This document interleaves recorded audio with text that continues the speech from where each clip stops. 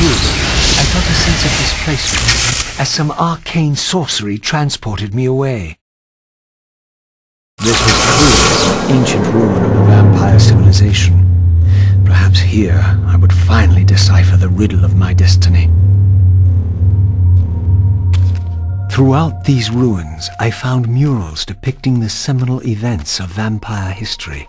These scenes commemorated a great war between the ancient vampires and their rivals. In triumph, they banished their adversaries from the world and raised the pillars as the lock that binds them. The image of the Reaver was inscribed throughout this place, always depicted with reverence. The vampire's holy weapon was destined to be borne by their prophesied hero, for whom it was forged. But if this was my destiny, why had the Reaver tried to consume me? This scene depicted the appointment of the original vampire guardians, each summoned to serve when the pillars were raised.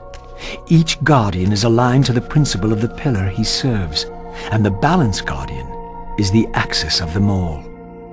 In their defeat, the vampire's enemy retaliated with a terrible curse, afflicting the vampires with a bloodthirst that turned their once noble race into ravenous predators.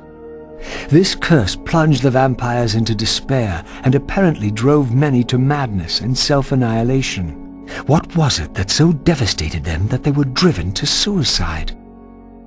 I sought to unravel the mystery of my fate, and in this image lay my first clue. For this scene depicted the forging of the Reaver, the weapon destined to become my prison, and I recognized its maker.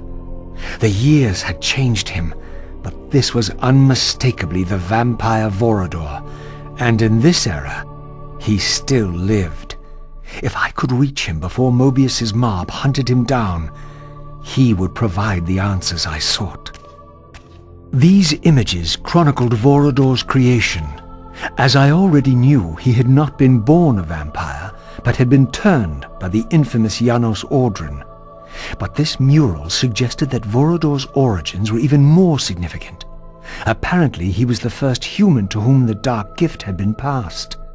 This was the vampires' desperate bid to preserve their bloodline, for their enemies had cursed them not only with bloodthirst, but with sterility as well.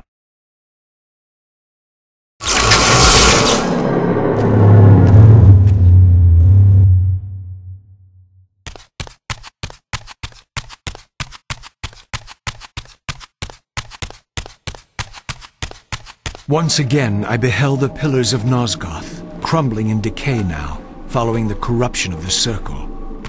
Here I would find Ariel, the specter of the murdered Balance Guardian, and the last pure, undefiled member of the Guardian Circle. Bound here upon her death, she was doomed to haunt these pillars until her successor fulfilled his terrible duty, and balance was restored. What manner of creature approaches? I know you well, Ariel, though you do not yet know me. I have no time for riddles, strange one. All you have is time. I have come to seek your guidance. I counsel only one man, and you are not he. But you will know him soon. The contagion of your kind is coming to an end. My kind? What exactly do you think I am? Your name shall remain unspoken, as decreed by our ancestors. You serve the one who so brutally took my life and set this tragedy in motion. But even now, hope is at work. Balance will be restored, and your kind will be expelled forever. You have pinned your hopes on Kain. He will disappoint you. What can you know of Kain? More than you could ever fathom. He will do what he must when the time comes. By choosing his own death. A sacrifice for the world. You don't know Kain very well. I know what he is called to do. My faith sustains me. Is it faith or fear? You know that if Kain refuses the sacrifice, you will never leave here. And you begin to suspect I will not hear your poison, fiend. Grant me the answers I require, and I will leave you to your pathetic delusions. Ask, then. I seek the vampire Vorador. To kill him, perhaps, or to join him in death. But for Kain, he is the last of his kind. Moebius's mob has done its work. My reasons are my own. His refuge lies in the heart of the Black Forest. And may you molder there together until the end comes.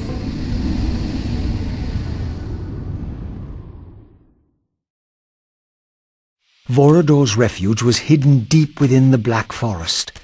If the old vampire still lived, he alone could tell me how to escape the terrible destiny charted for me when the Reaver was forged. I hope to find him before Moebius's cutthroats did.